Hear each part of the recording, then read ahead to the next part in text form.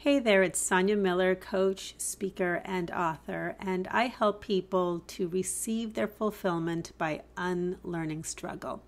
And today we're going to explore how to unlearn struggle to receive a fulfilling, committed relationship. I thought a good place to start would be to read a um, share from this a student in my receive course because I asked, What is it that you want to receive and where do you struggle? So this was what she wrote. I'd like to receive a committed relationship that fully embraces my quirks and feminine unpredictability, that makes me feel safe, beautiful, and wanted regardless. So I think that today, the point that I really want to highlight, the teaching point that contributes to struggle, is that we look at relationships as something outside of ourselves we're focused on the other person, we're focused on finding the one. Um, it's very outer focused. And the truth is that in my orbit at Success for the Soul, we always root ourselves in the fundamental principle that your consciousness creates your reality. Everything that you experience, everything in your outer world, everything that you manifest is always going to begin first in consciousness. Your consciousness creates your reality. And the uh, root of struggle, uh, how I've been teaching it, is that it's based in two things habit and incorrect or missing information. So the struggle that um, most of us are talking about, at least when I'm teaching receiving easily, it's important to understand that there's a certain amount of struggle that's natural in life. You know, the baby being born and the mom, there's some struggle in that. Uh, the butterfly coming out of the cocoon, there's some struggle in that. But there's a whole other level of struggle that is absolutely learned. And we unlearn it by looking at our habits and the information that we base um, our decisions about how to approach our fulfillment. Okay, so the first thing is the habit. The habit is that we over rely on what I call a masculine model of power. And when I talk about masculine and feminine, I am not talking about gender or sexuality. I'm talking about energies and ways of being. And the masculine model values performance. It's all about thinking, pursuing, doing, taking action, analyzing, conquering, hunting, um, whole lot of outer world focus from thoughts into physical reality. The feminine model of power values presence.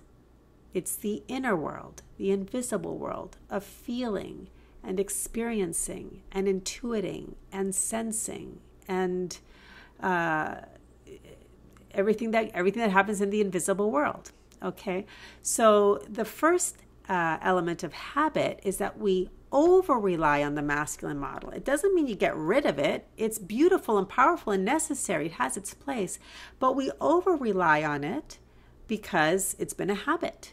We've been rewarded for it. There's a lot of uh, acknowledgement for how smart we are and all that we do, and and you know all the, all of the activity and the action. And we also have incorrect and missing information. Okay, so the missing information is a lot of us have very little idea about the sheer and utter power of being, of presence, of the feminine. And the feminine model of manifestation, instead of focusing on thinking and hunting and doing and figuring out and analyzing, is all about states of being, the power of being. And in that state of being, the power of being, where it's the opposite of thinking, it's the opposite of doing. Okay, so the feminine model receives everything that arises in its inner world, in its feeling state, in its experience. Receives, receives, receives. It's mysterious, it's invisible. Only you know what's going on because other people can't can't say what it is that you're feeling only you know right? So it's it's all about receiving what arises in your inner world and through that things are revealed and revealed and revealed. So the manifestation is a revealing rather than a conquering okay? So when we turn into our inner world when it comes to relationships we start to root ourselves in this idea this concept that if our consciousness creates a reality, then how I am in relationship with myself is going to be reflected in my outer relationships. Okay, so this student that wrote in said, I want a committed relationship that fully embraces my quirks and feminine unpredictability, that makes me feel safe, beautiful, and wanted. So her opportunity is to look at how am I in a committed relationship with myself? Am I committed to myself? Do I choose myself? Do I embrace my own quirks and feminine unpredictability? Or do I abandon myself? Do I choose somebody else over myself? Do I make myself feel safe? Do I make myself feel beautiful and wanted in how I receive myself? Or do I judge myself? Do I devalue myself? Do I ignore myself?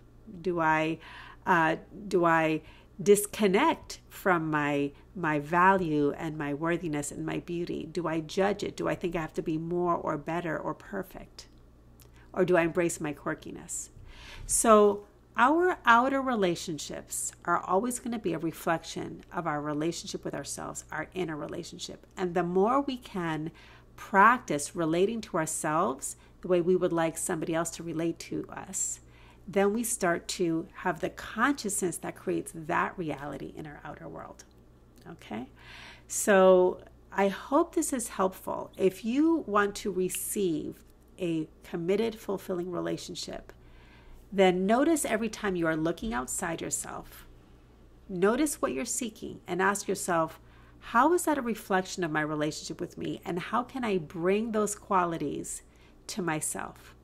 Then redirect your attention from doing, stopping all that struggle, to being present with you and seeing how you can choose yourself, be committed to yourself, have a loving relationship with yourself, every aspect of yourself. In other words, treat yourself the way you want to be treated by another person.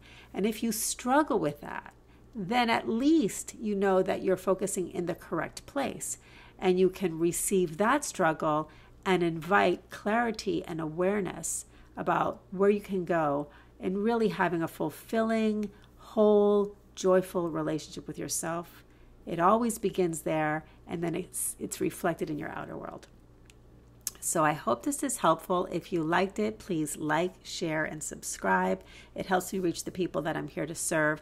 And if you want to go deeper with this, so it isn't just words and an idea, but you really get to explore how to integrate this into your life, how to embody it, how to actually experience receiving fulfillment, then check out my free training at receiveclass.com.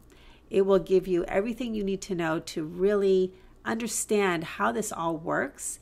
And the class is focused on helping you identify three hard work habits you must unlearn to release struggle and welcome your fulfillment with ease. So, thanks for being here, and I'll check you out on the next video, or you'll check me out. Okay, thanks. Bye bye.